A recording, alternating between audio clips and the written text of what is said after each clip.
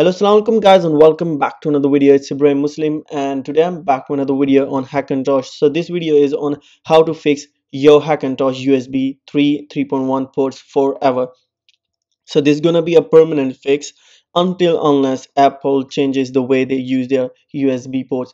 So this fix will work on High Sierra, Mojave and almost every latest Mac OS version and you don't need to do any 15 port limit patches every time you update whole of the operating system or you do a partial update that means you do a 10.14.1 or 14.2 or 14.2 or 14.3 update.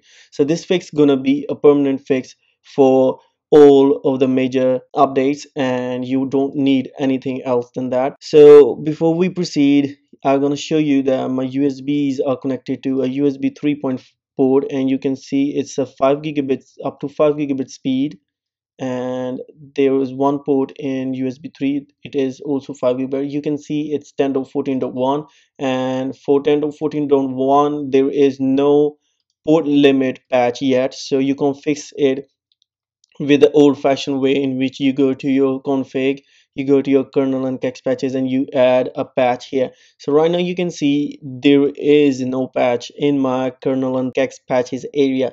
So it's totally free of patch system and my usb is working. If i go to boot there are no boot flags i'm using.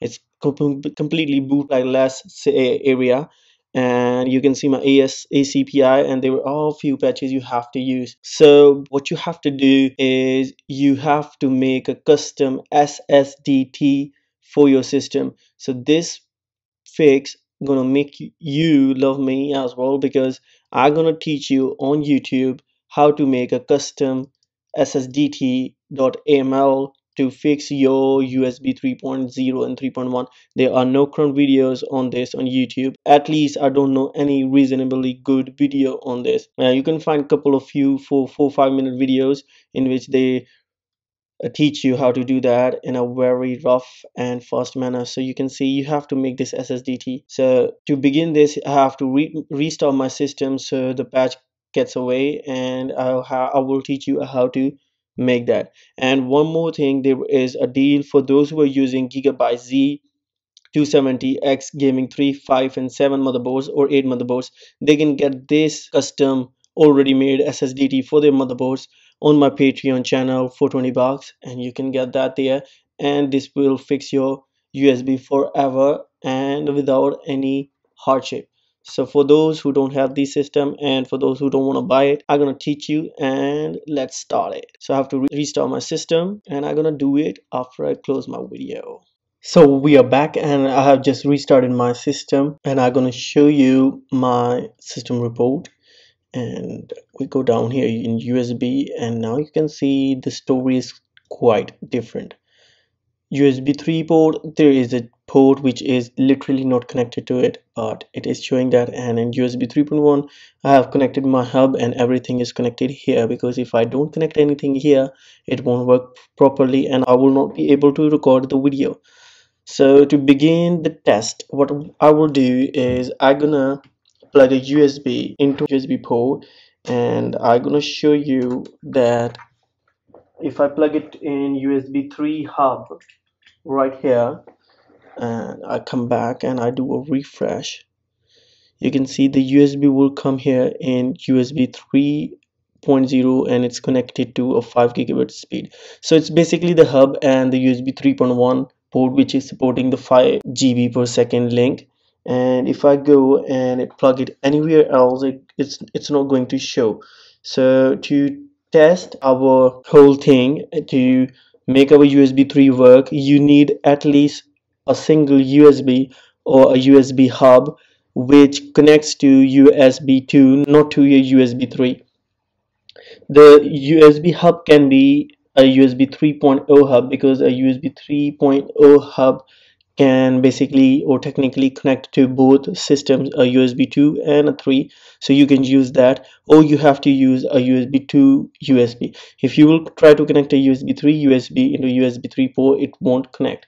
So the best thing is you use a hub or you use a USB 2.0 so let let me use my hub to display it here.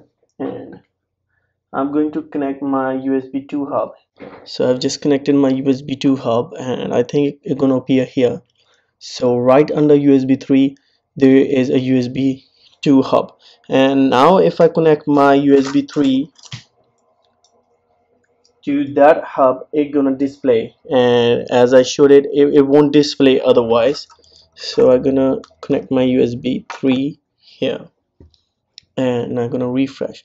So now this USB 3 is connected under this USB hub and you can see it's 480 MB per second. So to start our creation of SSDT what we need is we need two main softwares and one of them is the IO registry explorer. This is a must to have software and the other software is our ACP extruder and Mac ISL 2.0 and this software is the other one we need.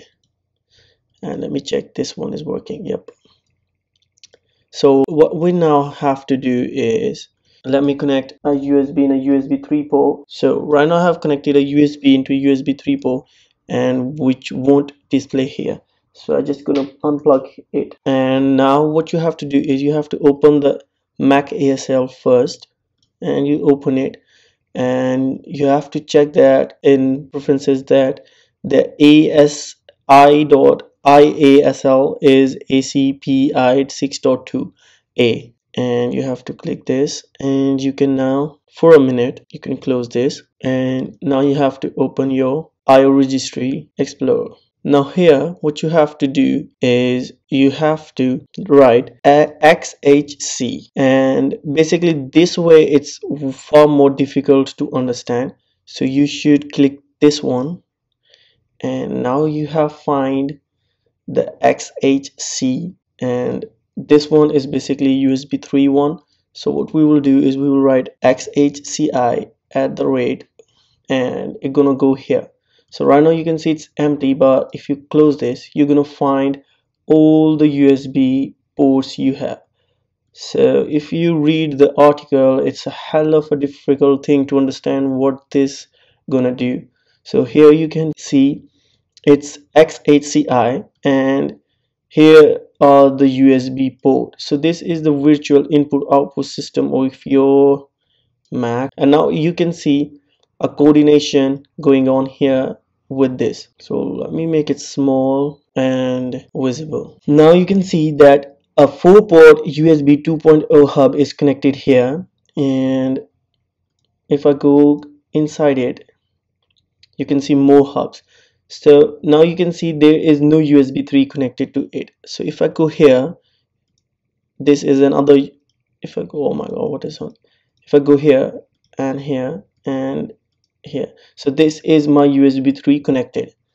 So this is the one port I have in my system and this is another port I have in my system. So these are the two ports which are used by my system and you can read the name here. So the first thing you should do is you better take a screenshot of this and now you know the USB 3 is connected here which is connected to a USB 2 interface but at least it's a USB 3 now what you have to do is you have to connect this USB 2 hub with a USB 3 with every port on your system with each and every port on your system. So right now everything is high speed USB high speed high speed high speed. It calls it everything high speed. And now you will see what when I will change the port there will be another arrow here and it will locate to another position. You can also name the positions if you want to but it's not necessary so let me unplug the USB here I unplugged it and it's gonna be crossed so it's red now. I unplugged it and I'm gonna insert it in another port. And done here is my another port. Now you can read this and if you go in deep here there is a USB 3 connected to it.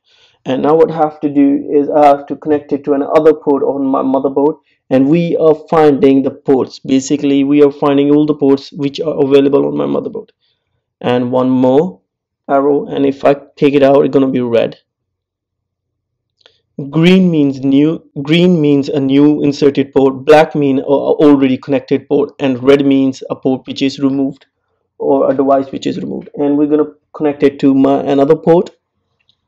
And tada it's connected here right here you can see and now I'm gonna connect to my another port. And tada I came to this one. And what I have to do is I have to connect to my last port. And I think I have connected it with every port but let me see which one is for me. So I have connected uh, one more thing to my USB 3 port.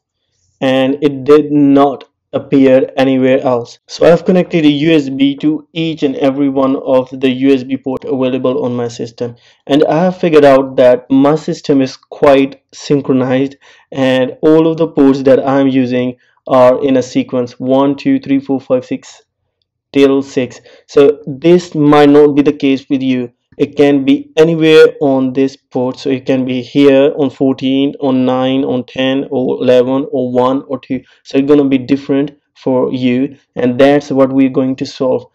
We need to know the USB ports our system is used and is connecting to to get our USB 3 properly functioning. So i will recommend you to take a screenshot of this and we're gonna take a screenshot of this. So these are my ports 1 to 6